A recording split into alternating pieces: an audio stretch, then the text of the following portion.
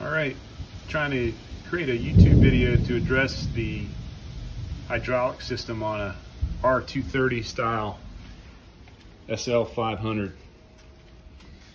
Issue starts with this front lock cylinder um, on the on the roof, and um, a little ahead of myself on the video, but uh, to get to this, uh, the headliner has to come out and you have to have it in service mode. Now, I'm not necessarily in, in, in the traditional service mode because um, my trunk did not close properly, which actually is a benefit because typically these are locked on the trunk lock assembly here. So the goal here is to, I'm going to splice this one using Cabri Cabriolet hydraulics out of Fort, uh, Fort Myers area, Florida. That eliminates the need to chase these lines all the way back to the pump.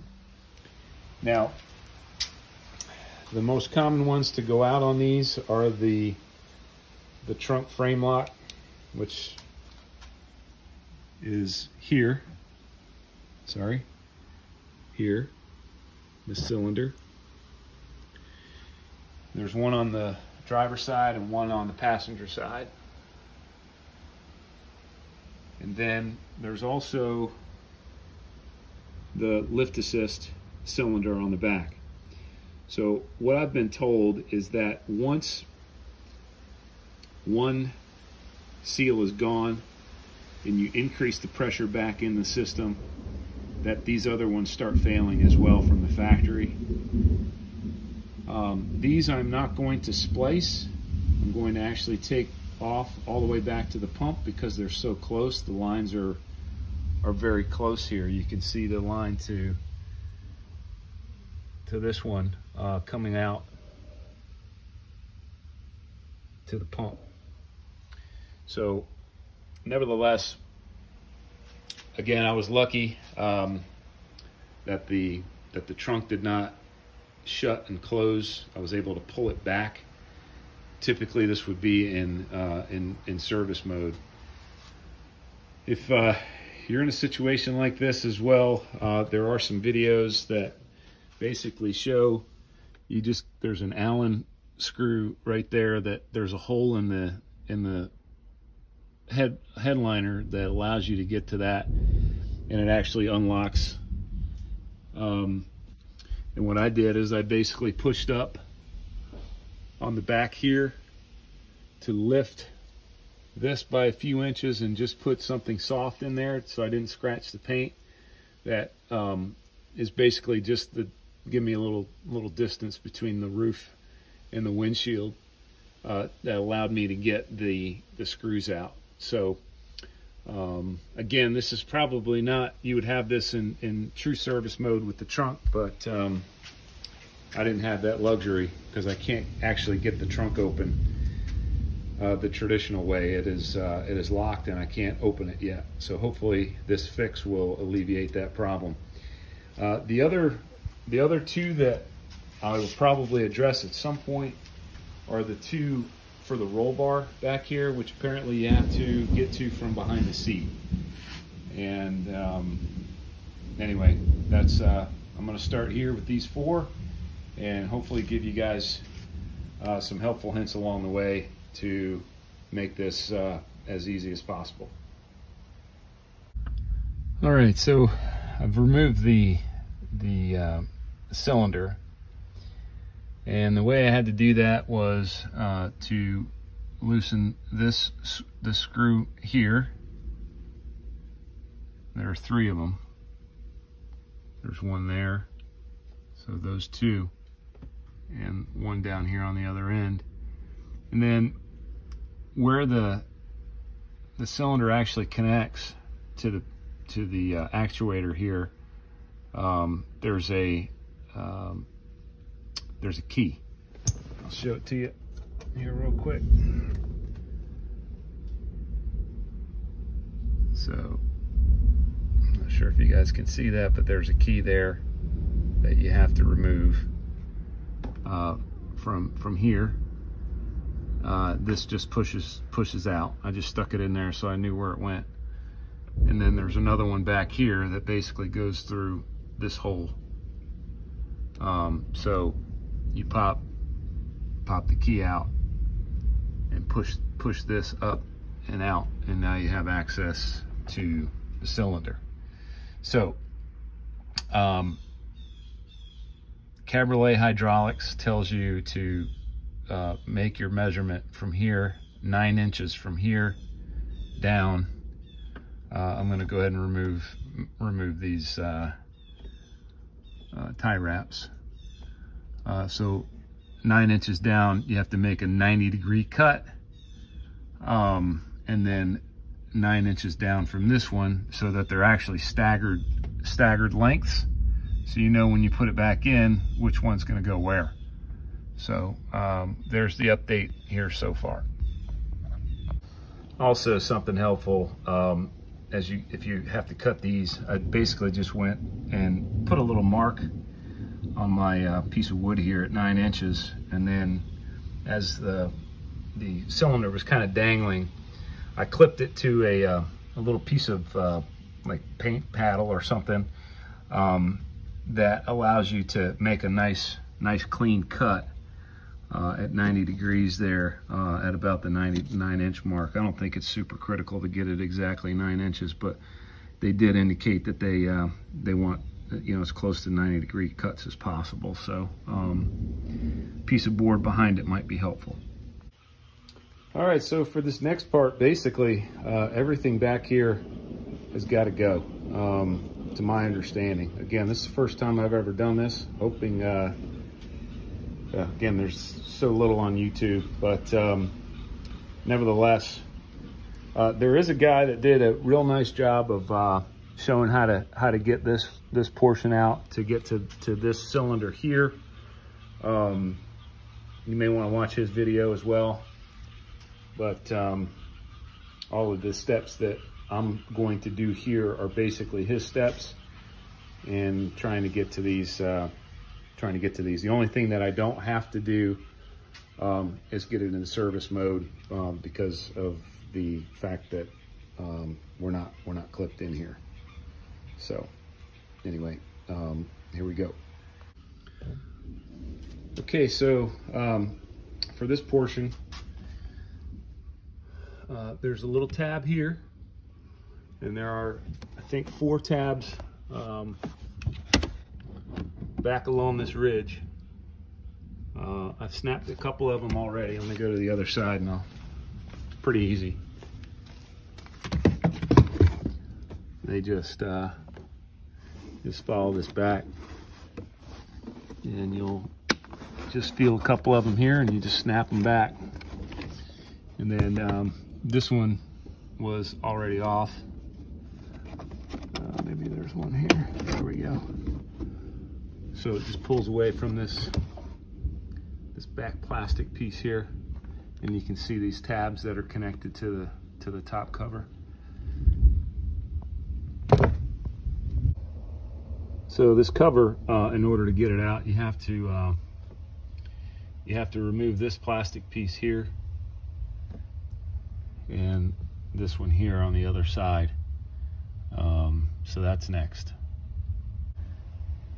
All right, so once you've got those two covers off, next step is to use a, uh, I think it's a T30 to get this bottom uh, bolt out and then this whole assembly will come out. So it's, uh, it's this one here on the bottom. So once you have those two out, um, this piece will just slide forward and should be able to just remove this right on out of here. Yep. So um, next step, I think for me, I'm gonna remove the spare tire and get this back, this back, uh, this back piece off that was underneath the uh, the cover. So I must admit, I am using uh, the gentleman video that uh, shows getting out that passenger side um, cylinder. Uh, this is a um, this is a T15 down here that I've already loosened up on both sides that you remove. And then uh, the centerpiece up here was kind of a bear to get out. Um, I started on this side and just started pulling and prying on the back, back, back in here, and was able to get it to pop, pop loose. Um, so once that's off and these two are out, uh, I think it's just a matter of, uh, of, of, pulling this out and uh, removing the centerpiece. So um, I'll catch you guys later. So an edit on this is uh, the reason why it may have been tough to get out um, is because of these holes here. There may have been, I don't know this, but I heard something pop out and go down to the bottom and then I found I found that push pin. Um, so there may be a push pin on this side and on that side that you need to pull out before uh, you yank this out. All right, so I've got that back piece out and I uh, did find that other push pin, so they are indeed connected in these holes. Um, probably not critical to have that on there, but nevertheless, the next step is going to be uh, removing these carpets. And you can see these push pins located here. And um, I think there's one back there too. Yep, way underneath there. You've got these two down here on the bottom and this one here in the back. Now, um, I want to point something out. Um, I thought it might be easier. Oh, and the other thing too, uh, that's got to be removed with a T30 right there. There's an electrical connection uh, underneath that. You just uh, um, disconnect that. Um, I've contemplated, considering I've got to get to this cylinder here, removing this back piece,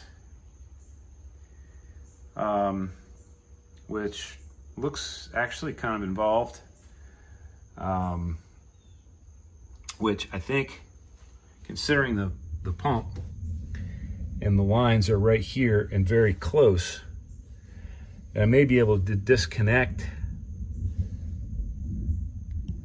that clip there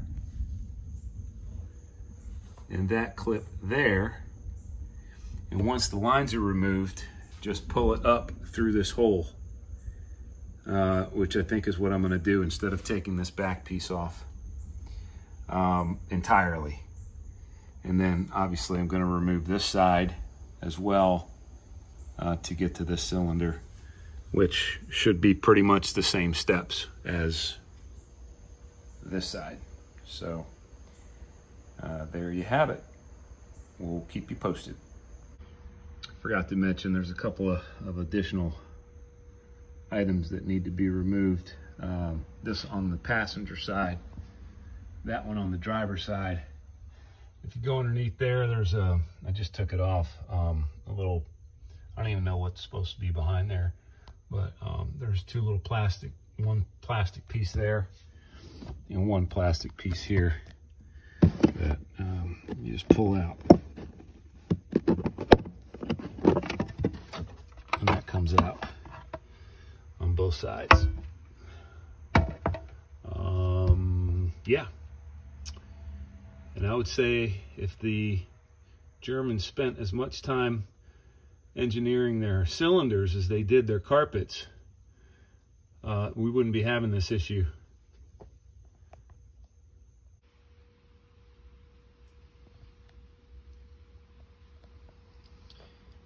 So this is the removal of this piece here. Um, it's that T, T30.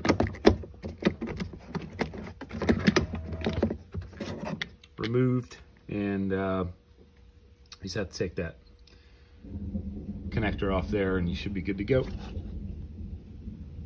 Oh, and uh, this piece here was removed got to do that over on the other side, uh, take that switch off, but this side's ready to come out now. Um, so I got the carpet out on this side, uh, and when I was taking this piece off, I noticed there's uh, there's some hydraulic fluid down here, um, and it was actually on the bottom part of this piece, um, which uh, I have no idea why. I'm thinking maybe it has something to do with something up here, but if anybody has any insight, I would greatly appreciate that. Um, so maybe an update on that after I find out an answer. Uh, maybe I'll see what's going on over on the other side too. But back to the task at hand here. So this um, is the mechanism and need to remove this. Uh, I believe it's a, no, it's, it's a T30, I guess. Um, and, and this. And then we'll be able to remove, uh, it's hard to see, be able to remove this cylinder here. Um, I believe, based on the other guy's video, that if you push this down, it gets it into this position here, which is pretty easy to work on. Then, as you see, we've got the lines that are trailing down under here. And then we're going to uh, pop these open all the way across over to the pump. So um, anyway, that's the plan. So as you can see, as you're looking down, um, it is threaded on that side. Um, so just remember that as you're putting it back in. So that's facing inward towards the trunk. All right, so same story on the back one. Um, this is threaded uh, just on the inside and the longer it's a longer bolt. Now, um, I don't think I've pointed this out yet, but all these cables are numbered. See that 94 and 34. Um, but anyway, with those two bolts out, this is ready to be removed and just a couple zip ties and then we're back um, we're back to the pump so that one's out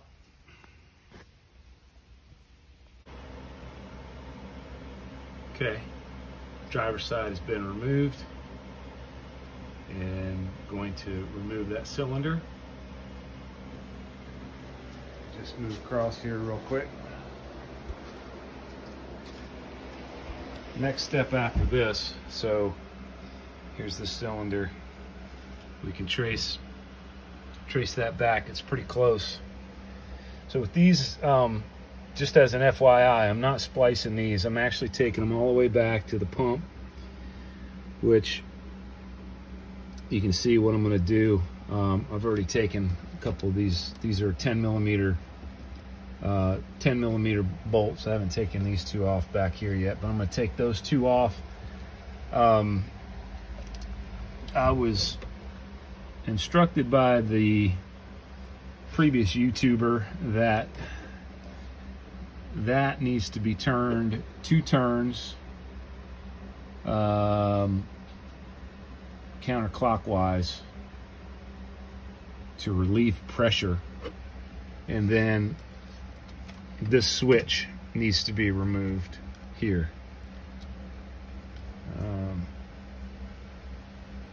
probably to get it to lay over on its side uh, to access the lines. So that's uh, that's what we're to do next. Okay, so um, I did I did relieve that and um, you can actually feel where it did release some pressure.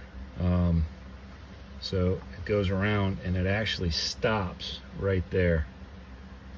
So, and then um, I guess you tighten it back up once you relieve the pressure. And um,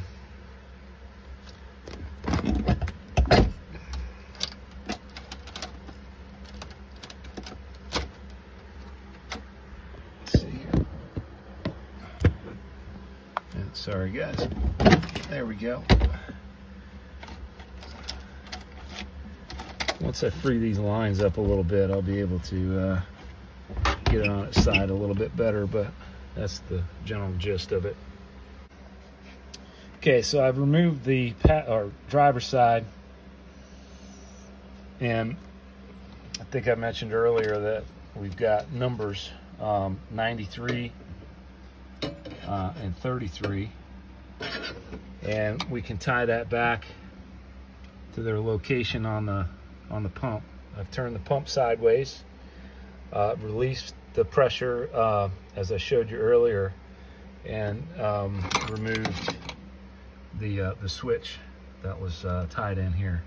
So at this point, I think my uh, assumption of um, being able to remove this one is going to work. I think what I'll do is, so it's these two, 92 and 90, or uh, 92 and 32, that when I take these off, there's four uh, Allens there.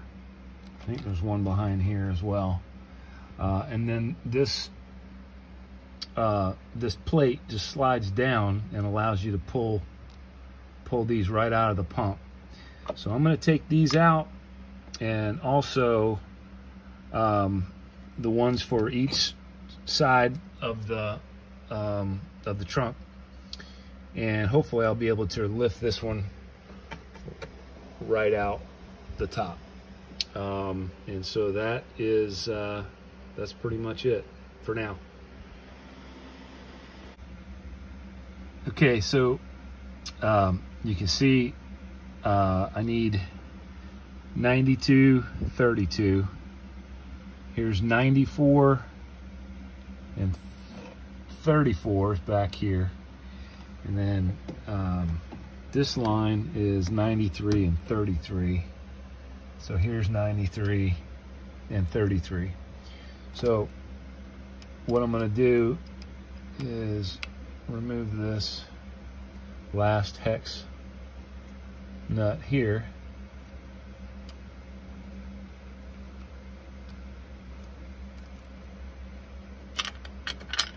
And this, you can see there are holes here. And this whole plate slides forward. It's hard to do with one hand, but uh, slides forward to give you access. There we go see how it's kind of moving forward now, um, which will allow me to move to, to, to take these out. So um, that's pretty much it. So I'll show you uh, once the lines are out. Okay, I'll just show you, I, basically just took a screwdriver, kind of got on the back side here and pushed this over. I'll show you just how easy these come out. So here's, here's 94 just pulls out. Here's uh, 92.